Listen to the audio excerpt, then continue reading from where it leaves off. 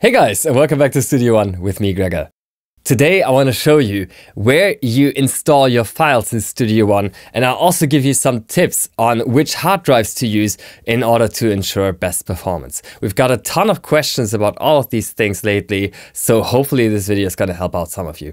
So right here on Studio One start page, that's where we can directly enter the preferences and set all of the path locations that we need to set in order to run Studio One perfectly with all of our sound content and plugins and so forth. So to open up the preferences, there's a couple of ways in Studio One. You could either just click here where it says setup on the start page and it gets you straight to the preferences. You can also click here where it says Studio One at the top and then go to the preferences this way. You could also use a keyboard shortcut, which is Command and comma on a Mac. That would be Control and comma on Windows. Okay, so now that we're in the preferences, we just need to go to the locations tab and this is where we can set all of the relevant path locations for all of the necessary Studio One data, such as your song projects, your macros, your keyboard shortcuts, but also all of your sample library content, your plugin destinations, and so forth.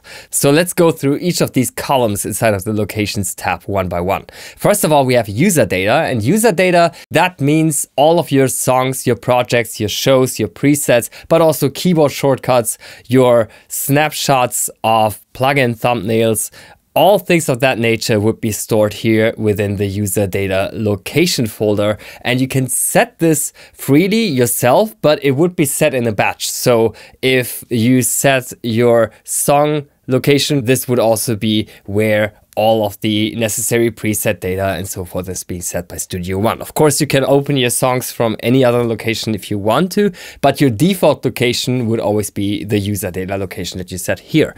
Now, depending on what kind of music you make, it might be quite important to set this user data location on one of your fastest hard drives that you have available.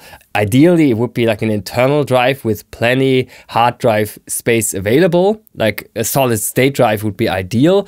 Uh, the second second best choice would be like an external solid state drive, just like this one, because you might work with sessions that have a ton of audio files that need to be read in real time. And if you don't want to load your song for ages, then you should probably make sure that these files can be read quickly. And the quicker your hard drive is, the quicker that can be ensured. So that would be my first recommendation. The user data location folder is quite critical, and you want to dedicate one of your best hard drives available to that specific folder.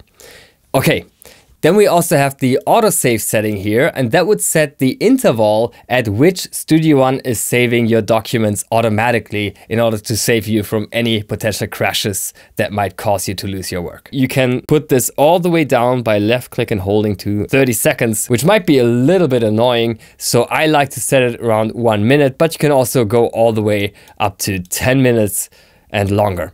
Then there's a use cached plugin data on save option here as well. I would not recommend you to tick that unless you're working with huge orchestral templates with tons of virtual instruments that don't change a lot, that are kind of set in stone. Then this can actually make sense and drastically reduce your saving times. But if you don't need this, then you should probably not enable this option because having cached plugin data can also introduce a couple of problems. So with that being said, ask to copy external files when saving a document, that's a quite important option. You might not think so at first, but if you don't have this set, then it can happen that the external samples that you're using are not being saved to your song folder, and maybe they're coming from external hard drive. And as soon as that external hard drive is disconnected, well, suddenly your song project, when it's opening up, cannot find the samples anymore, and you just end up with an orphaned song project. We don't want that. So it's probably best to always ask or have Studio One ask to copy external files when you're saving a document. Then we have the file types. This is not necessarily something you have to mess around with. You can add specific types here that are being detected by Studio One's browser, by the files browser that would be. But in most cases, you can actually leave this untouched. And then the sound sets. This is quite important. This is where you would install all of the sample library content and all the instruments that you would get with Studio One Plus, for example. And you also want to set that on your fastest hard drive available because that can mean a lot of gigabytes of content and you want to read and store that as quickly as you possibly can. So once again, for this folder, hard drive speed is key. Then we have the instrument library locations. And this is something that I basically never mess with. I don't think this is a standard that has been much explored yet in Studio One. So I don't think you need to do anything in this column. And finally, we have the VST plugins column. This is where you can set the locations for all of your third party plugins that you might want to use in Studio One.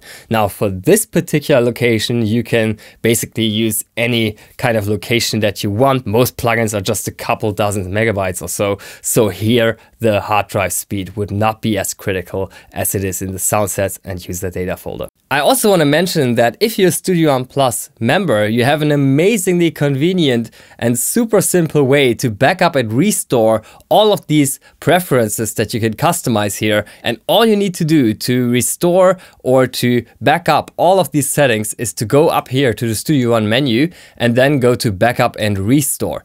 From here, it's just gonna take one single click to back up all of your program settings, like your artist profile, your external devices, input and output configurations, your color schemes, plugin thumbnails, you name it. All of this is being backed up with one single click. And when you restore it, you can actually do that selectively. So if you just wanna bring back um, the presets and your program settings, such as the path locations that we discussed today, then you would just tick these boxes and then hit restore. And that would be all you need to do in order to migrate systems with Studio One Plus. So hopefully this clears up a couple of questions that you had about path locations in Studio One and thank you for watching.